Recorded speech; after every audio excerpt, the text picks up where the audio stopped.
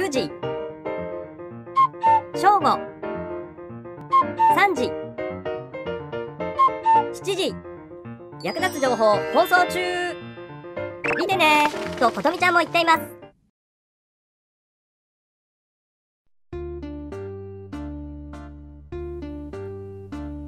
ここは常盤一丁目にある芭蕉記念館。昭和56年に開館し今年で40周年を迎える日本で2番目に古い松尾芭蕉の記念館だ。ちなみに一番古いのは私の生まれ故郷三重県の伊賀上野にある芭蕉王記念館で昭和34年に建てられた。皆さんこんにちは。松尾芭蕉です。これからご覧いただくのは芭蕉記念館夏恒例のイベント。芭蕉記念館祭り。今年は開館40周年を記念して8月21日土曜日と22日日曜日の2日間で行われ子供から大人まで楽しめる催しが盛りだくさんであった。それでは早速初日の模様からご覧いただくとしよう。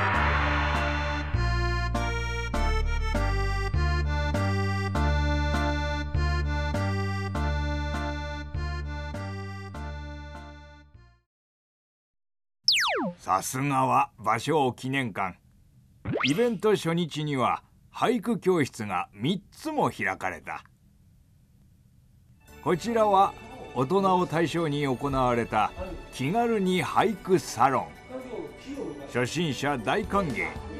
俳句に興味がある方向けの交流会として開催され言葉の決まり事など俳句で使われる基礎的な文法が学べると好評であった。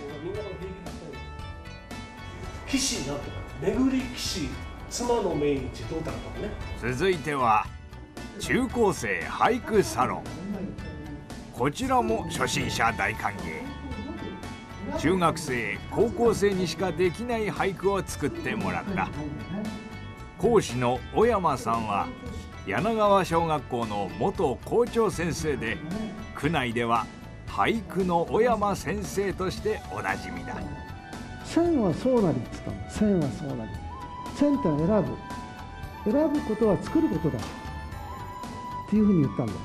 だから例えばこういうふうにやったらこれが一番いいんじゃないこれこれこそが俳句だよっていうことを選べるかどうかでこれこれ大事なことなんだよね。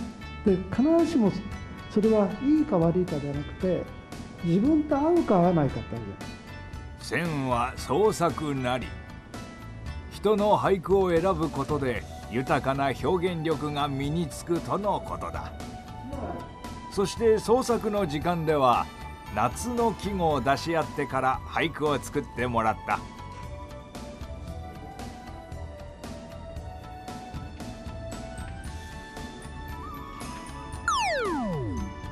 手花火や黒い自販機の缶の列。手花火や黒い自販機の缶の列。隅田川揺れる花火と屋形船。隅田川揺れる花火と屋形船。学友と地理のワークと花火のね。学友と地理のワークと花火のね。ジンベエを北この世界花火かな。ジンベエを北この世界花火かな。思い出す親戚と見た大花火。思い出す親戚と見た大花火。自転車に入れる空気や書き講座自転車に入れる空気や書き講座。終戦期芝の越えたる甲子園。終戦期芝の越えたる甲子園。プラバケツ彼氏花火を放り込む。プラバケツ彼氏花火を放り込む。使い終わった花火は枯れたようで、まあ、しおれているのです。しおれていてもう用はないよということでバケツに放り込んでまた新しい花火を使いたいなというし欲がある俳句ですね。その後みんなはお互いの句の感想を述べ合うなど改めて俳句への理解を深めていた。あんま同年代の人でこういうふうなことができるってことはなかったんですごい新鮮で楽しかったです。さて他のイベントも見てみよう。街歩きと江戸風切り絵うちわ作りは深川の街歩きと風流な江戸風切り絵うちわ作りの両方が体験できるお得な企画であった。街歩きでは NPO 法人本所深川の方たちをガイドに私がよく通った清澄の林泉寺や江戸時代の錦絵が有名な万年橋そして芭蕉稲荷神社などを巡り地域の歴史なども伝えられた。あの初めて参加してあこんなゆかりのあるなんか古い歴史のある町なんだっていうのがあの発見できてとっても楽しく過ごせました。街歩きの後はうちわ作り。朝顔や風鈴など江戸風の切り絵模様を貼り付けたら完成簡単にオリジナルうちわが作れると好評であった売ってるのみたいにできたと思います。ありがとうございます。あうちわってこういう楽しみ方もあるんだなっていうふうに感じました青いでも作っても楽しい江戸風切り絵うちわ私も今度作ってみようそしてこちらはカラフル粘土のカエル風鈴作り。小学生の親子を対象にふわっふわの軽い粘土でカエルの風鈴を作ってもらった。作り方を簡単に言うとまず粘土でプラスチックのカップを覆い手や足など部分ごとに作ったパーツをくっつけてカエルの形を作り最後に鈴と短冊のついた紐を通し23日乾かせば完成とのことだお父さんお母さんたちにも手伝ってもらい可愛いカエルが次々と出来上がった楽しかった。カエルの風鈴。うん、可愛いい。作ってみてどうであったかな？すごく上手にできました。形を工夫しました。あとは花とか。ほう可愛くできたの。よし一句浮かんだぞ。お祭りやカエル喜ぶ鈴の音。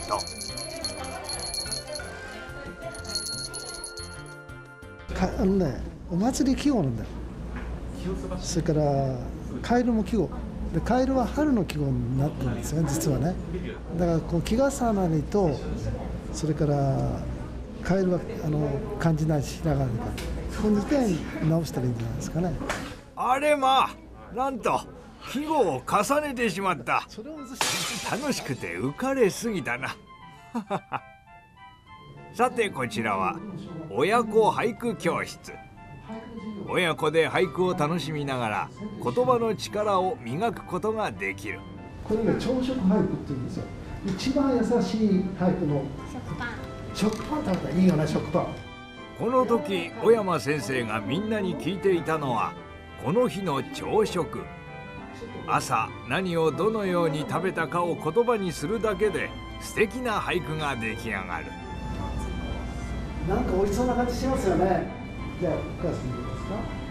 ヨーグルト蜂蜜かけて美味しそうですね。美味しそう。続いてみんなにはこの夏の出来事をテーマに俳句を作ってもらった。親子で俳句を作るなんてとても素敵なことだな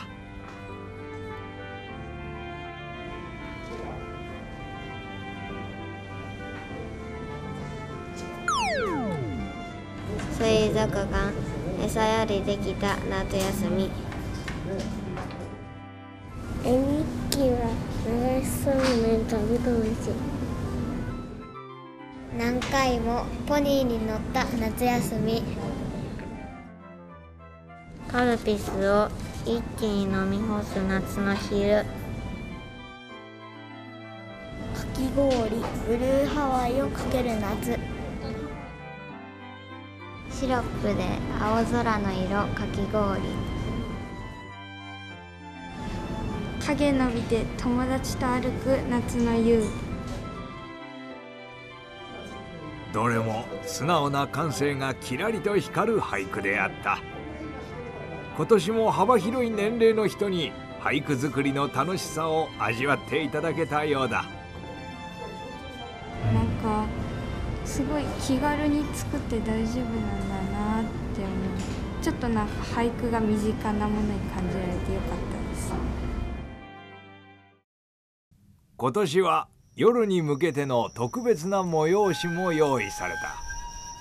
小名木川と隅田川との合流地点にある芭蕉湾史跡展望庭園で行われたのは農館で味わう芭蕉の世界。演奏は能楽師森田流笛方の熊本俊太郎さんだ。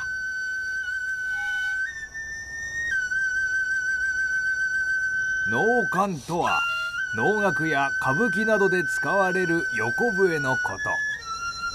今回は奥の細道などにちなむ曲目を能楽の演目から選び披露していただいた。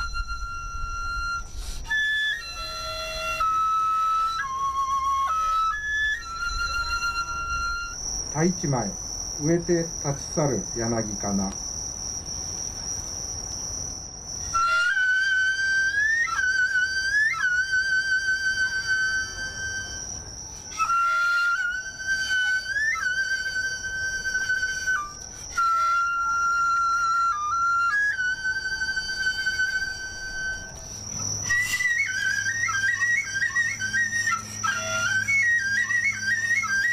初秋の夜にですね川風に吹かれながら虫の鳴き声を聞きながら素晴らしい時間を過ごさせていただきましてありがとうございました。音がビーッとあの詰まったのがもうレガートの二声をレガーいいレガートが来てで微妙な変化が。趣深い能感の響き会場にいらした皆さんはとても贅沢な時間を過ごされたに違いない。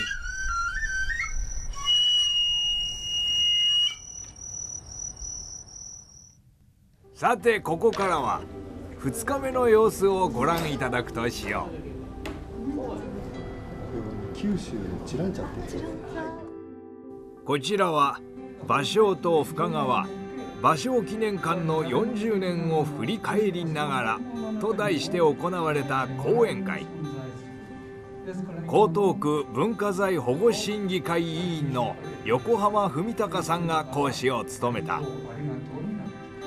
横浜さんは俳句資料を区に寄贈し芭蕉記念館の開設を見届けて亡くなった真鍋義重王の話や江戸で俳諧の師匠として成功していた私がなぜ日本橋から深川に移り住んだのかを説明。深川に移ったのは火災による一時的な避難がきっかけと歴史資料から裏付けた自説を披露し会場の興味を引いていた。日本橋でのその正門の闊歩する姿。と芭蕉の、えー、生けすの番号や生活っていうのを考え合わせるとこの遠方8年10月の、え、火災というものが非常に大きな影響を与えていたのではなかろうかと。このえー、偶然的な火災によってそしてまた江戸の市中の環境というものを見ることによって富士を見江戸市中を眺めっていう中でまさにそこに定住していくという芭蕉の姿が描かれているというふうに考えることができるのではないかと。あの横山先生のあの、えー、火事で火事によって避難してきたという説今回はあの火の勢いそれも地図を使ってあの説明してくださったので大変説得力がある非常に私にとってはいい機会でしたこちらは書道に挑戦のコーナー。清澄にある中村中学校高等学校書道部の指導で私の句や自分の俳句を書いてもらった。会場は初心者も経験者も書道がうまくなりたいという思いでみんな真剣。書道部の皆さんもとても熱心であった。子どもたちが分かりやすいように言葉遣いとかあとあの子どもでも分かるような言葉を使って話すこととかあと優しい口調で話すことは注意しました自分が教えたことによってその上手くなったりとかあと形が綺麗になったりするとすごいなんか自分でも嬉しくなりました。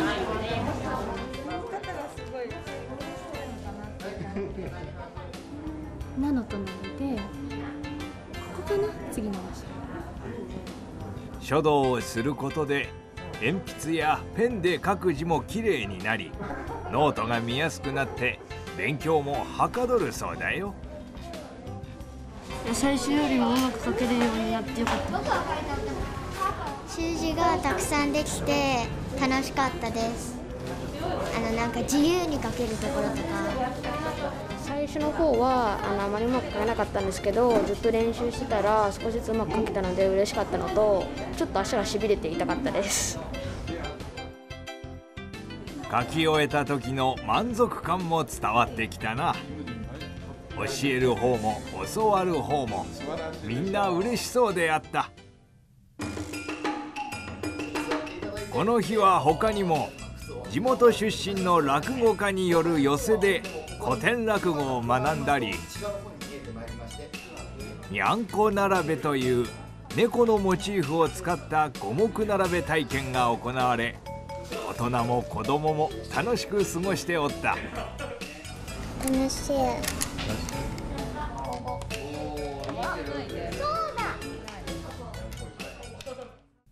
そしてこの日の夜の特別プログラムは小学生の親子を対象に行われたナイトミュージアムはじめに芭蕉記念館ジュニア俳句教室の安倍先生から俳句についての話があった。目には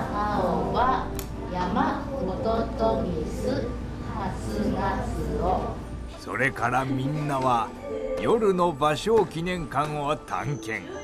暗く怪しげな雰囲気となった展示室に案内され私松尾芭蕉と深川についての話を聞いた。古池や川底びこの水の音。